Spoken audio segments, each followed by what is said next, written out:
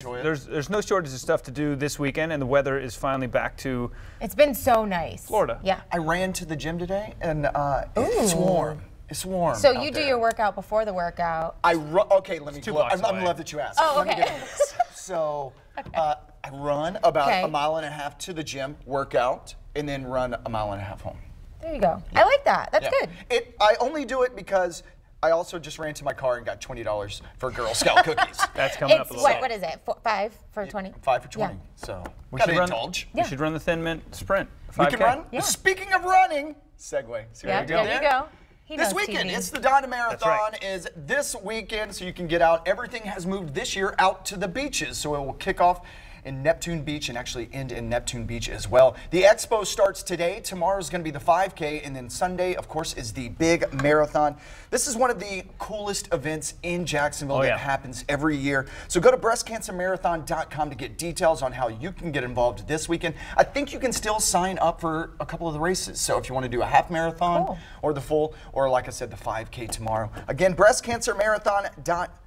And, it, and I re- totally recommend going to the website because they have all the road closures where Right, to park, yeah. where, Yeah. And where this the year's shuttles. different. This year's totally different. Right. Yeah, because it's all, like I said, all out at the beaches. Yeah. So you can go down to Atlantic Boulevard. But again, details at breastcancermarathon.com. From there, we've got two amazing celebrities, huge celebrities over at the Times Union Center. We're talking about Carol Burnett tonight over at the Times Union Center. All right, I was looking at this Carol Burnett, Carol Burnett show. I'm going to get it. Yep. Yeah. Her show went on for 11 years, averaged 30 million viewers per week, and received 25 Emmy Awards. Yeah. Wow. It's pretty Yeah. amazing. So Talk about talent. during this show, she's going to be doing some comedy, telling some funny stories, Yeah. and then Taking oh, questions Taking questions. That's amazing. How cool! So you can go to timesunioncenter.com to go ahead and buy your tickets.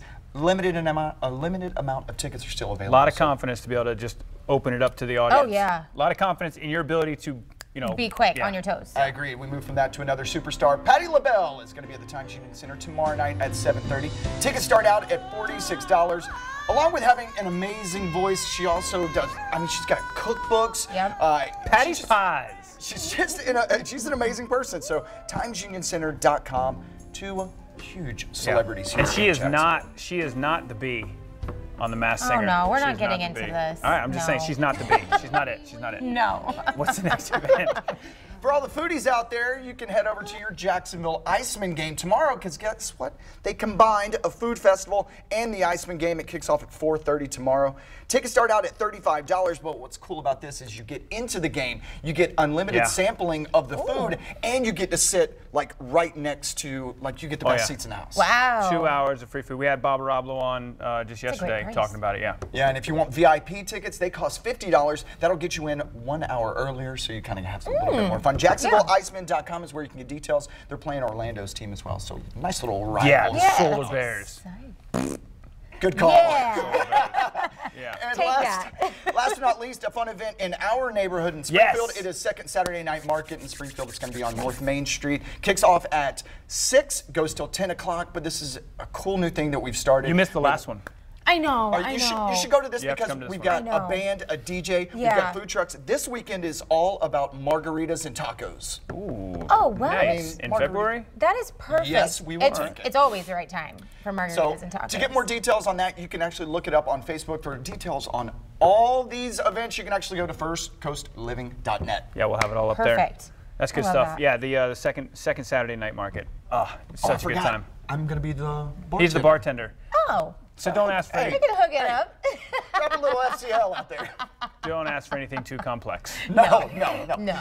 Did you Beer? say beer? Done. yeah, Wine, vodka tonic.